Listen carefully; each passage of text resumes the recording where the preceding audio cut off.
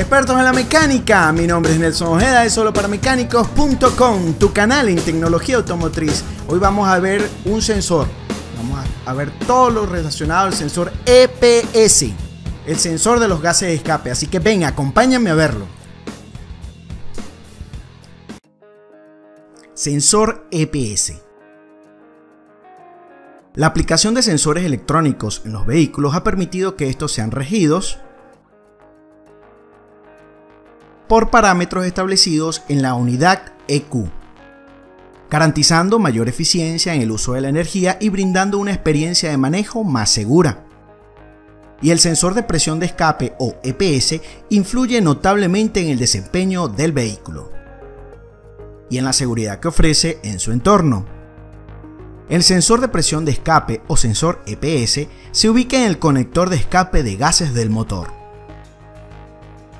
Este sensor monitorea que se produzca una fuerza o contrapresión de gases necesaria para el buen desempeño o funcionamiento del motor. En especial, el sensor EPS resulta ser imprescindible ante las normativas de cuidado al ambiente, funciones del sensor de gases de escape. Este sensor se encarga de medir el diferencial de presión que los gases entre la entrada y salida del filtro de partículas, especialmente en motores de tecnología diésel o con turbo, aunque también de otros sistemas en donde se utilizan una contrapresión de gases de escape para retornarlos al sistema. Datos técnicos del sensor EPS. El sensor de presión de escape o sensor EPS en sí es una pieza de resistencia la cual varía su comportamiento mecánico por la deformación de una membrana metálica. Esta actúa sobre una pieza recubierta en cerámica la cual resiste la temperatura y protegida por silicona. En ella están alojados los receptores electrónicos para transformar la señal mecánica de presión en voltaje. Habitualmente esta señal va de 0 a 5 voltios, y la EQ del vehículo se encargará de ajustar los parámetros en función de la lectura interpretada. Posibles fallos del sensor EPS. Aunque la tecnología aplicada de sensores en el campo automotriz sea confiable y eficiente, tiene su contraparte. Y es que un fallo puede dejar inmovilizado al vehículo o afectar de gran manera su desempeño. En vista de lo anterior, los sensores deben ser inspeccionados cada cierto intervalo de tiempo y cerciorarse de su buen funcionamiento. Por ejemplo, en el caso del sensor de presión de escape es sumamente importante revisar que no esté agrietado o fisurado, debido a que esto afecta la lectura que arroje ya que su estanqueidad se verá afectada. Y aunque el chequeo visual es importante, no lo es todo para asegurar la confiabilidad del sensor.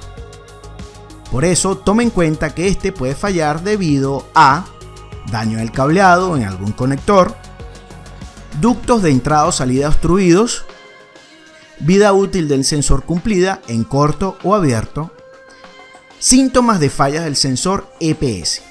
Al igual que otros sensores, la observancia de la falla y su revisión puede llevarnos a un diagnóstico adecuado de la causa. Por ejemplo, si observas que el vehículo tiene falla de potencia, no se logra la regeneración del filtro incinerador de partículas de forma manual, la puesta en marcha está condicionada a varios intentos de arranque. Ahora bien, estos síntomas y fallos no son difíciles de solucionar. En un taller especializado podrán realizar una revisión exhaustiva y si lo requiere, un escáner para solventar ya sea que haya que reemplazar el sensor EPS por defecto o asegurarse que la fuente de alimentación al sensor esté funcionando. O quizás tan solo sea un ducto de entrada o salida obstruido. En conclusión, lo más importante es que no pierdas tiempo y dinero en diagnósticos equivocados o supuestas averías inexistentes. Mantén tu vehículo confiable y eficiente para circular. Bien, hemos llegado al final de este video. Si te fue de utilidad, por favor compártelo y dale me gusta. Adicional, si tienes alguna pregunta, por favor déjala en los comentarios y con gusto te responderé. Suscríbete y activa la campanita de notificaciones para recibir todo lo nuevo en tecnología automotriz aquí en Solo para Mecánicos.